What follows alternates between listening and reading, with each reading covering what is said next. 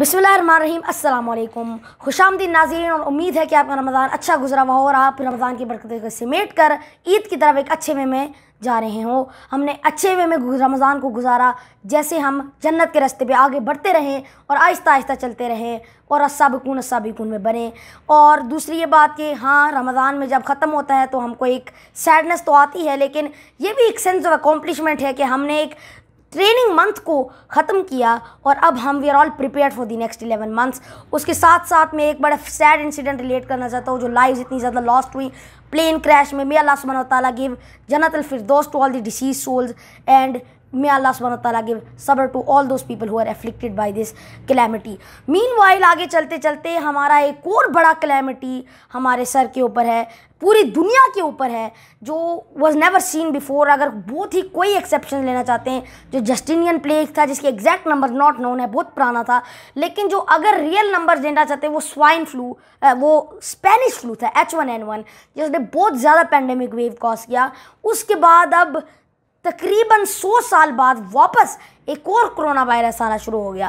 अब ये जो कोरोना वायरस है, अब उस वक्त तो ऑफकोर्स नाइनटीन हंड्रेड्स थे, जिसमें कोर्स सिर्फ़ एक न्यूज़पेपर का फॉर्म था, जिसमें से लिटरेरी फॉर्म्स थे, और उसमें सिर्फ़ एक कंट्री ने कवर किया, इसलिए उधर वार था, और उसमें स्पेन ने कवर किया। लेकिन उसके अलावा अब जो है, वो सूरत हाल काफ़ी चेंज हो गई है, और अब जो केसेस हैं एज ऑफ़ मे 23 2020 जब ये एपिसोड फ़िल्म हुआ ग्लोबली केसेस 50 लाख से ऊपर चल गए हैं जिसमें अमवात तीन लाख तैंतीस हज़ार और सेहतयाबी के जो हद तक पहुँचे हैं पेशेंट्स वो पहुँच गए हैं 20 लाख तक। जिसका मतलब है कि तकरीबन 40 लाख एफ़ केसेस हैं अभी तक दुनिया में जो काफ़ी ज़्यादा है जिसके सबसे ज़्यादा नंबर्स यूएस में हैं जिसमें 16 लाख केसेस हैं जिसमें 97,000 तकरीबन 16 के तकरीबन लाख के करीब डेथ्स हैं। और रिकवरीज फोर लैख पे है और और कंट्रीज़ भी इफ़ेक्ट हुई हैं, जैसे Italy Spain Turkey Iran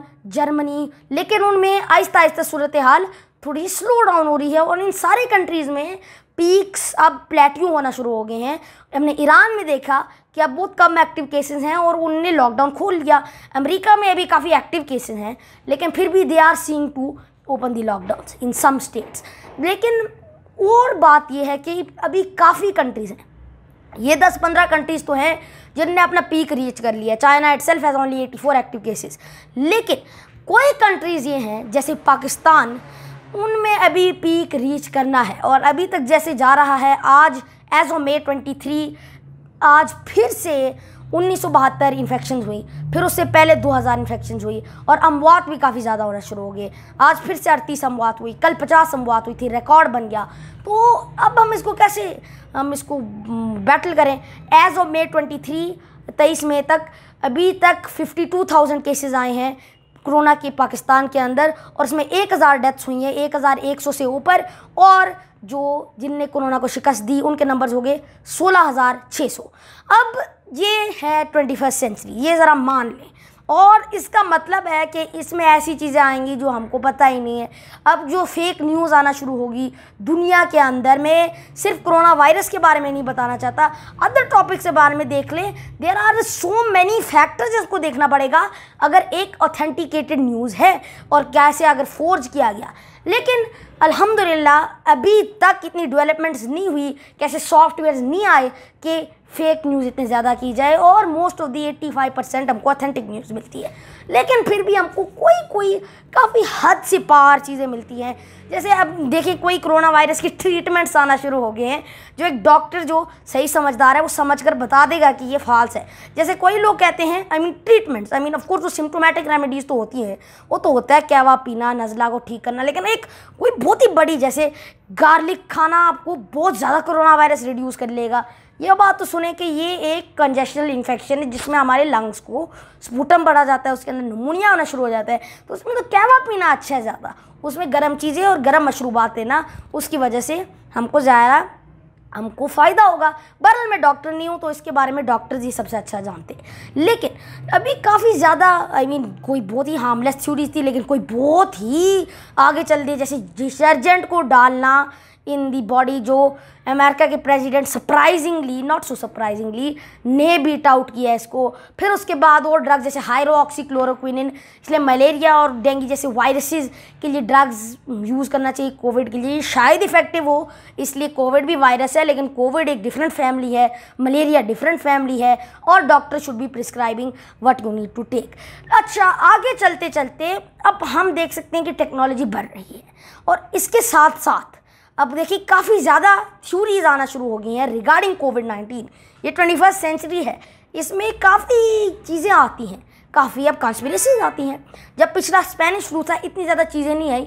तो इसलिए स्पेनिश फ्लू नहीं कहा गया। इसलिए स्पेन ने बायोलॉजिकल हथियार तैयार किया। नहीं, वो इसलिए कहा गया, इसलिए स्पेन ही सारा बना रहा था न्यूज़ इसलिए बाकी सारे कंट्रीज़ वार में थे। तो इसलिए वो कहते हैं कि it was originated from Spain अब, जो सबसे बड़ी थ्योरी है, जैसे दी कंट्रीज़ और वर्ल्ड ऐसे आगे बढ़ते जा रहे हैं और उनमें नई टेक्नोलॉजी आना शुरू हो गई है। इंसान ऐसा भूखा आदमी है कि उसको जब एक चीज़ मिले, वो और मांगेगा। और जब वो और उसको मिले, वो और मांगेगा। और हद से पार चला जाएगा।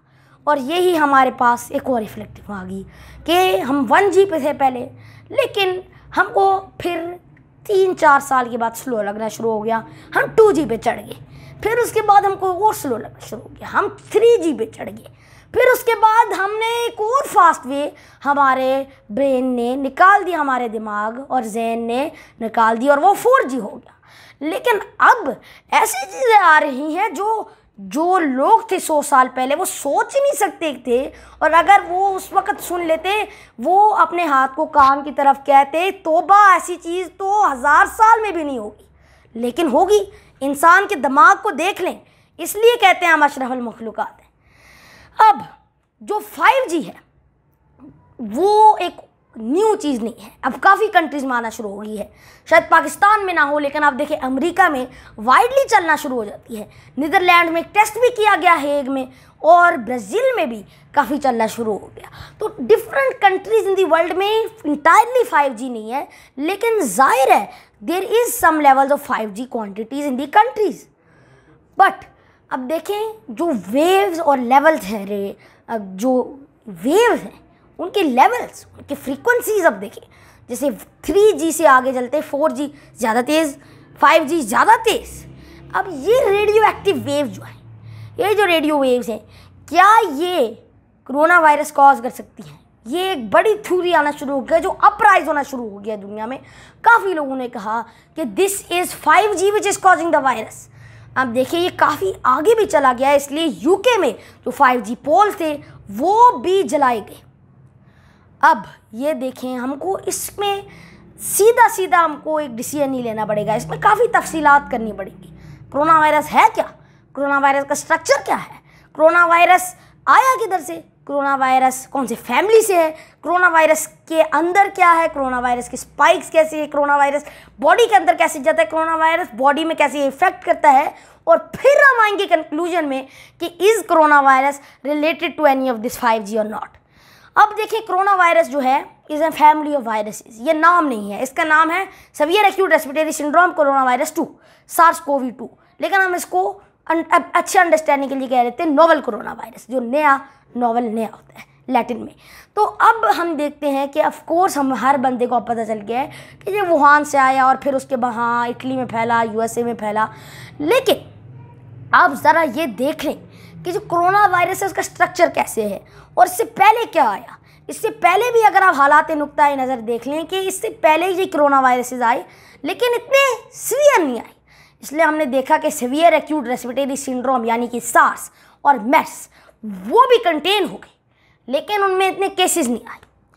वो इसलिए कि हमने पहले जो 500-600 केसेस थे उसमें उन्होंने कंटेन कर लिया लेकिन जब पेशेंट ज़ीरो पता ही नहीं चला, नया स्ट्रेंथ था इतना कि पता ही नहीं चला।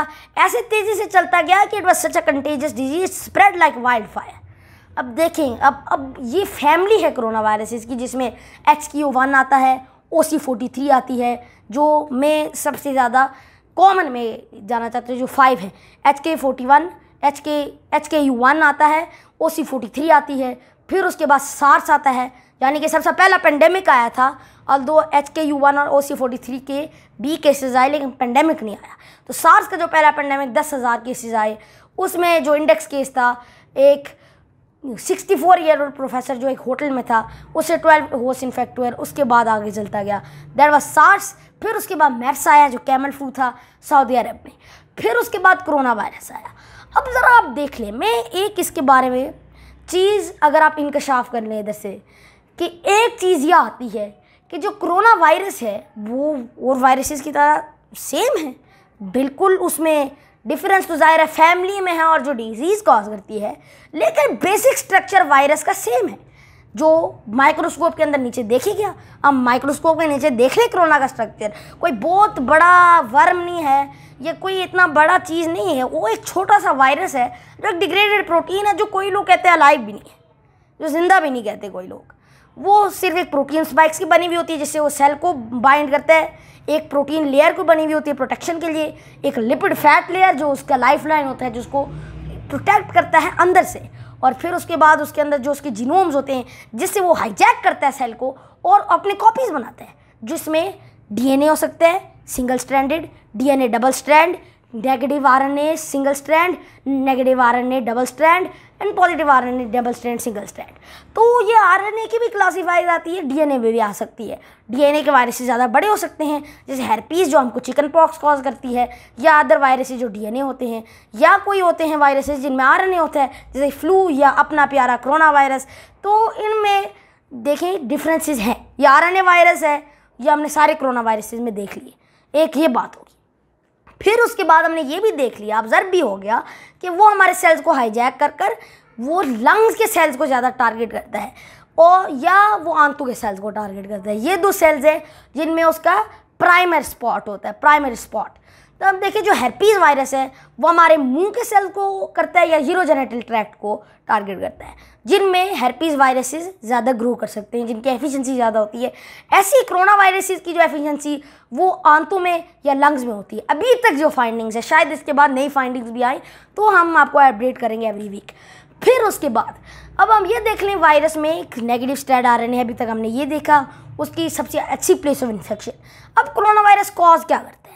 कोरोना वायरस ये कॉज करता है कि हमको जैसे S A R S SARS severe acute respiratory syndrome वही नमूनिया है, लेकिन ज़्यादा सीवियर अब जो कोरोना वायरस है, उसमें माइल्ड केसेस आ सकते हैं मॉडरेट आ सकते हैं स्वियर आ सकते हैं क्रिटिकल आ सकते हैं, लेकिन 80 टू 85 परसेंट मॉडरेट माइल्ड होते हैं। बाकी जो 50 बाकी जो 10 है, वो स्वियर आती हैं और 5 परसेंट क्रिटिकल होती हैं। तो ज़्यादा लोग इससे रिकवर कर लेते इतने लोग मरते नहीं हैं, लेकिन सार्स और मर्स से कंपेयर्ड ये ज़्यादा स्प्रेड करता है। और यही इस चीज़ पे हम गिरे खड्डे के अंदर। इसलिए अगर हम इसको कंटेन कर सकते थे, लेकिन ये बहुत वाइल्ड फायर डिज़ीज़ थी। इतना जल्दी फैल जाती थी कि अगर ये एक रेडियो एक्टिव वेव होता, जो रेडिएशन से कॉज होता, इतने जल्दी तो नहीं फैलता जितना ये फैलता। ये एक बिल्कुल ही कोई और चीज़ लगती है, जैसे फैलता है तो ये एक ज़ाहिर है, एक कम्युनिकेबल डिज़ीज़ लगती है।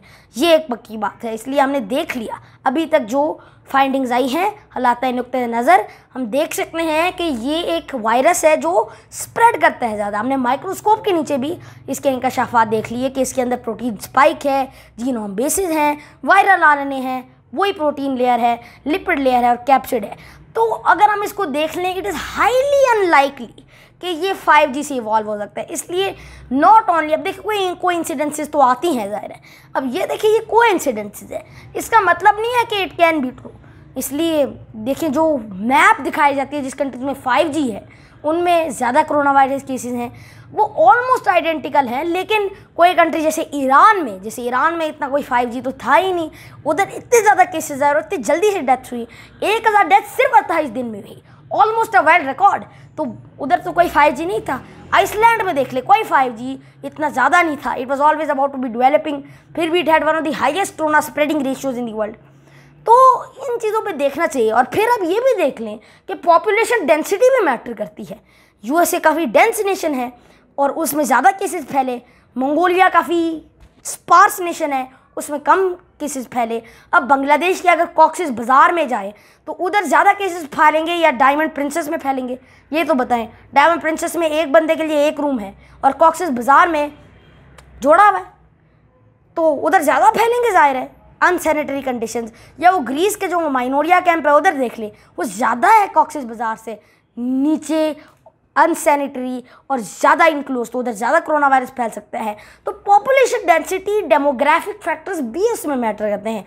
कोरोना वायरस आर मैटर करता है हमारे जेनेटिक्स के बारे में। जी हाँ हमारे जेनेटिक डिफेक्ट्स भी हो सकते हैं। अगर आपने पढ़ा है डिफरेंट डिज़ीज़ कोई जेनेटिक डिज़ीज़ भी हो सकती है, जैसे हीमोफीलिया है, वो जेनेटिक डिज़ीज़ है। लेकिन फ़िलहाल हम ये भी देख सकते हैं कि जो स्वीयर डिज़ीज़ हैं कभी कभी very few point point percent, लेकिन देख भी सकते हैं कि कोई परफेक्टली फिट पीपल में सीयर डिज़ीज़ हो जाती है।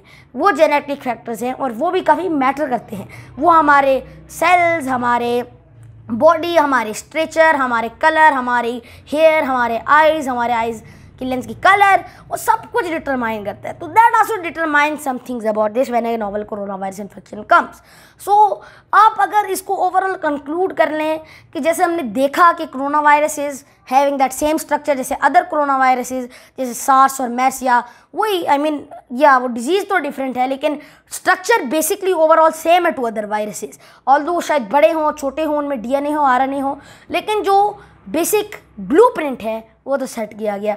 दूसरी बात कि ये भी नहीं कि फाइव जी जिन एरियाज़ में ज़्यादा है, उनमें कोरोना वायरस स्प्रेड हुआ, जो मेरे मुताबिक, अब मैं ये एक चीज़ कहना चाह रहा हूँ डिस्क्लेमर करना चाह रहा हूँ उससे आगे जाने से पहले कि ये मेरी ओपिनियन है। आप जो कहते हैं, ये आपके डिसाइडेशन है। मैंने इसके बारे में कह रहा, आप जो अपना कॉमन सेंस लेकर कहते हैं you say that but it is always good to seek some help तो अगर आप देखना चाहते हैं, देखें, लेकिन अगर आपके अपनी व्यू है मेंटेन करें, ये मेरी व्यू है, ये मैंने भी फाइंडिंग्स लेकर की है, मैंने पढ़कर, मैंने रिसर्च कर कर मैंने ये ली हैं थ्योरीज और सब कुछ मैंने ये रिसर्च किया है फाइंडिंग्स की हैं तो इसलिए ये मेरी जो मैंने कंक्लूजन किया है, ये ये, जो मैंने कंक्लूजन किया है, ये मेरा कंक्लूजन है। आप जो अपना कंक्लूजन करना चाहते हैं, आप करें। No problem you are most welcome आगे चलते हुए जो मैंने कंक्लूजन किया, मैंने जैसे बोला कि वही वायरस वाला ब्लूप्रिंट है और जो ज़्यादा डेंसली पॉपुलेटेड एरियाज़ है, उनमें ज़्यादा फैला। जैसे जो ज़्यादा डेंसली पॉपुलेटेड एरियाज़ है, उनमें ये भी तादाद है कि इसलिए इतना कंटेजियस डिज़ीज़ है, ये ज़्यादा डेंसली पॉपुलेटेड एरियाज़ में फैलेगा। It's a highly contagious disease and viruses mostly are always contagious so it is one of those communicable disease so seeing these two factors that this is a very contagious disease which is not really link to any radiation poisoning इसलिए अगर किसी को radiation poisoning हो जाए तो और लोगों को नहीं हो सकता। एक ये बात। फिर दूसरी ये बात कि जो वायरस है it is basically the same structure as any other virus the blueprint is same although it's G N A might be R N A और D N A even though it might have a different spike, लेकिन at least the same blueprint is same. So concluding that that the it is very unlikely कि this five G might cause a reaction for the corona virus to happen and seeing that के जो 188 countries में effect हुआ है, उनमें शायद not even half countries में 5G efficiently चल रहा हो। तो that's why it is very highly unlikely but और भी इनकशाफ आ आएँगे अगले दिनों में, लेकिन अभी तक जो लग रहा है काफ़ी अनलाइकली है। Hope you like this video this is all for today and if you are see more videos go to my website हम dot com and also go to my Facebook page and to subscribe to my YouTube channel I wait for your feedback stay healthy stay safe अल्लाह हाफिज़